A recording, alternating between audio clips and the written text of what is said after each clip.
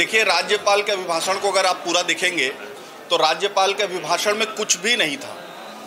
राज्यपाल का अभिभाषण एक बहुत महत्वपूर्ण भाषण होता है जिससे सदन को सरकार के आने वाले एक साल में जो गतिविधियाँ हैं, जो करने जा रही है, उसके बारे में पता चलता है।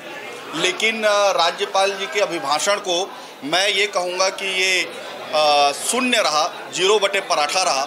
यही मैं राज्यपाल के अभिभाषण को सरकार के द्वारा जो बुलवाया गया है सरकार को यही कहूँगा कि आपने आ, कोई योजना ही नहीं बनाई है किसी तरह का कोई काम करने की सोच नहीं है आपकी साल भर में आप क्या करेंगे इसलिए अभी राज्यपाल के अभिभाषण को मैं ज़ीरो कहूँगा।